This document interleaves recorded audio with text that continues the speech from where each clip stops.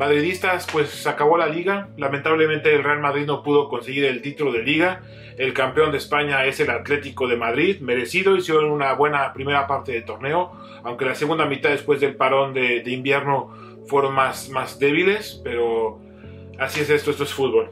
Sí, nosotros perdimos muchos puntos desde el principio de la temporada. Ujú. Hemos sido muy afectados por todas las lesiones y los que estaban enfermos de COVID. el COVID. Todos los equipos tuvieron enfermos de COVID, esa es una realidad, pero también es una realidad que el Real Madrid fue el que más casos de infección tuvo y en momentos clave, porque también hay que decir que el Real Madrid llegó más lejos en Champions, más carga de partidos hasta semifinales, estuvimos muy muy afectados por las lesiones, más de 50 lesiones y bueno, también en invierno se dejaron ir jugadores como Jovic, como Odegaard, eh, jugadores que no han rendido y que se tienen que ir como Hazard e Isco, pero eso hablaremos más adelante en este video. Pero bueno, así es, se acabó la liga, no se consiguió el título y veremos qué pasa con el, con el equipo la próxima temporada. Sí, porque no hubo fichajes este año, pero el próximo sí tiene que haber muchos cambios. Sí, se tiene que reestructurar el equipo, eh, no hay excusas, aunque no sea una excusa, se, se debe de decir y se puede decir que hemos sido gravemente afectados por el arbitraje esta temporada. Personajes como Hernández Hernández, como González González han sido clave, claves para que el Real Madrid no sea campeón de liga.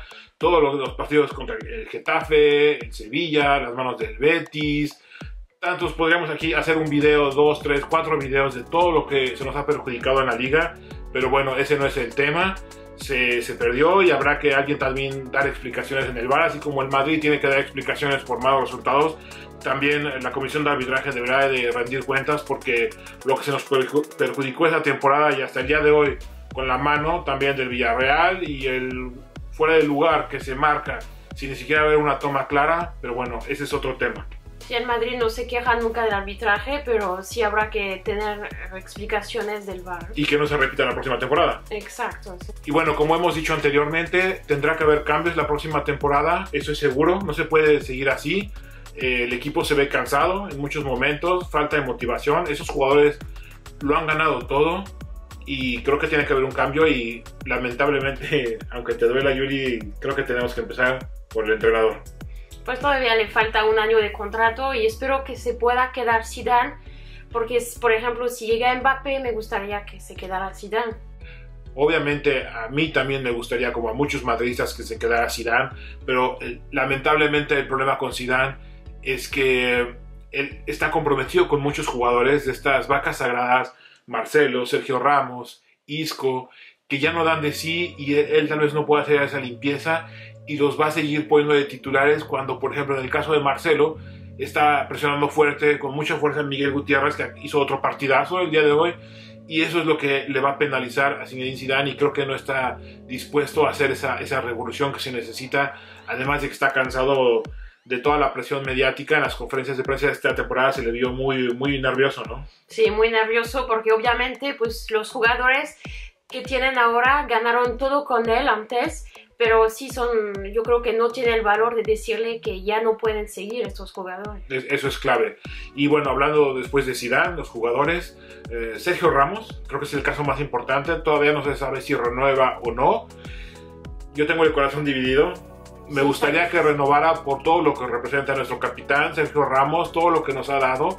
Y no solamente por el pasado, sino también por el presente. Sergio Ramos es uno de los tres mejores centrales en la actualidad y creo que debe de quedarse en el Real Madrid. Pues, tiene todavía mucho que aportar. Tal vez comience a descansar en más partidos, pero tiene que seguir en el equipo si él quiere, si acepta las condiciones, porque el Real Madrid está en una crisis y esto también es una realidad. Eh, pero bueno, esperemos qué, pasa con Sergio Ramos. Creo que ya pronto en este verano sabremos qué, pasa con él, porque ya se queda, está sin contrato, es jugador libre, puede firmar con cualquier equipo.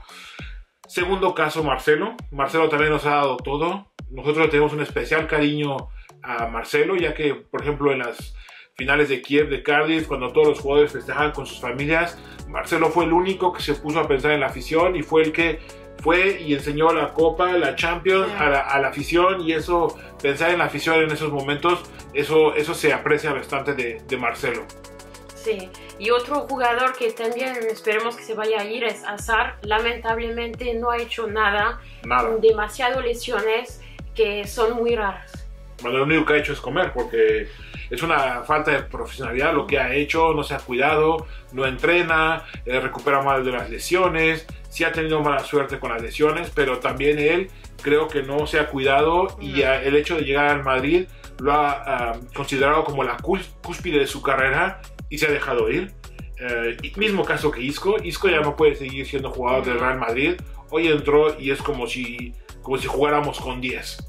Entonces, Hazard, Isco se tienen que ir y veremos Odriozola, tampoco Odriozola no tiene el nivel lamentablemente para le pone mucho ímpetu, pero no tiene el nivel para ser jugador del Real Madrid. Eh, los casos de Vinicius y Asensio creo que tienen eh, tal vez una temporada más de oportunidad y el próximo año si no terminan de explotar tendremos que ver qué hacer con ellos. Sí, qué pena para Vinicius porque él tiene mucha actitud. Yo creo que es uno de toda la plantilla que ha tenido más actitud este año. Sí, y bueno, pasando a los que se salvan esta temporada, creo que hay que empezar. Es difícil escoger quién es el mejor jugador del Real Madrid esta temporada, pero creo que si tengo que escoger uno sería Thibaut Courtois, porque hemos sido muy sólidos, nos ha faltado mucha calidad en ataque, en ofensiva, pero en, defensa eh, Courtois ha sido una muralla y eso es lo que nos ha llevado a llegar hasta aquí, la solidez defensiva, empezando por, por Courtois. Eh, creo que en medio campo el segundo jugador que más eh, se salva es Luka Modric, a pesar de la edad, ha sido vital en muchos tramos de la temporada. Y en tercer lugar, Karim Benzema. Obviamente, sí da la cara para todo el equipo y gracias a él hemos ganado partidos muy importantes. Así es.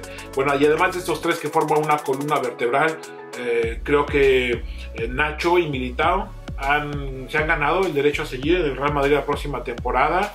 Eh, Valverde también.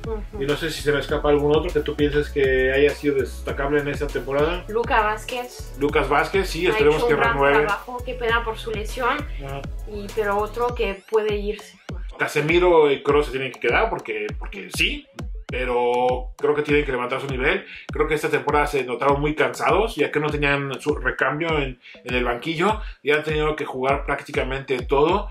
Y creo que les ha penalizado en el tramo final de la temporada tanto a Cross como a Casemiro y quizá también a, Benzema un poco, ¿no? Que lo ha tenido que jugar todo porque Zidane uh, no confía en, en Mariano como, como recambio y cambios, cambios tiene que haber la próxima temporada porque aunque hayamos eh, caído de pie esta temporada, no se puede tener otra temporada en blanco el próximo año. No, ya tiene que llegar mucha fuerza ofensiva, ojalá llega Mbappé, ojalá. Así es, hablando de lo que tiene que llegar, ya hablamos de lo que tiene que salir y lo que tiene que llegar tiene que, tiene que haber cambios, estamos en crisis, pero tiene que haber cambios y lo de Mbappé es casi, eh, casi ya un hecho que tiene que llegar la, próxima temporada. Haaland no es muy seguro que llegue la próxima temporada, pero también es algo que nos haría, que nos haría bastante falta. Tal vez Benzema tiene una o dos temporadas más y Haaland sería el recambio ideal para el ataque del Madrid. Y bueno, lo de Alaba también parece que ya está cerrado, entonces por eso se puede dejar ir eh, ya sea a Ramos o a Varane que en mi caso yo creo que será Varane. Varane lleva toda la vida en el Real Madrid y creo que tiene ganas de ver algo nuevo. Así que Alaba junto con Ramos, Nacho y Militao. Creo que son cuatro defensores que, que podemos hacer un gran equipo la próxima temporada y tal vez algún, algún jugador en, medio campo que podría ser Camavinga. Y el otro mediocampista que nos hace falta, creo que lo hemos encontrado en Antonio Blanco, el canterano, el joven canterano que en la última parte de la temporada ha demostrado que tiene la calidad para jugar en el primer equipo. De hecho, los jóvenes del Castilla que llegaron este año para ayudar al equipo, que sea Gutiérrez, Blanco también arriba, y eh, estaba el Marvin. Marvin también, lástima de la lesión que tuvo. Sí, pero tal vez hay que tomar fuerza del equipo de los jóvenes también. Y bueno, hablando del Castilla, para sustituir a Zidane, yo pienso que si, yo quiero que Zidane se quede, pero si se tuviera que ir, por cuestiones que él decidiera irse, creo que la principal opción sería eh, Raúl. Conoce el club como jugador, como entrenador, sabe la presión que es jugar en el Real Madrid, es un agente de la casa y creo que sería la mejor opción para entrenar al Real Madrid. Se habla también de entrenadores como Joaquim Lowe, como Antonio Conte, como Allegri, pero creo que son jugadores que, entrenadores que es una, una apuesta y es una moneda al aire porque no sabemos como, como jugadores como Eden Hazard si, si van a dar el ancho para el tamaño de institución que es el Real Madrid. Va a ser un verano muy emocionante. Muy agitado. Con muchas llegadas y salidas también. Bueno, madridistas, pues esperamos que les haya gustado este, este video. Eh, lamentablemente este año, como todo el mundo lo sabe, no hemos podido viajar mucho eh, para ver a nuestro Real Madrid. Esperemos que a partir de agosto, septiembre eh, todo cambie, ya empieza a haber gente en los estadios, esperamos muy pronto, nos morimos de ganas de regresar a un estadio de fútbol y compartírselos a todos ustedes. Así que bueno, esperamos ya con ansias volver a los estadios. Sí, yo creo que también la afición es lo que ha faltado este año también para el Madrid para ganar. Bueno, madridistas, si les gustó este video no olviden suscribirse, darle like, déjenos sus comentarios y nos vemos en un próximo video. ¡A la Madrid!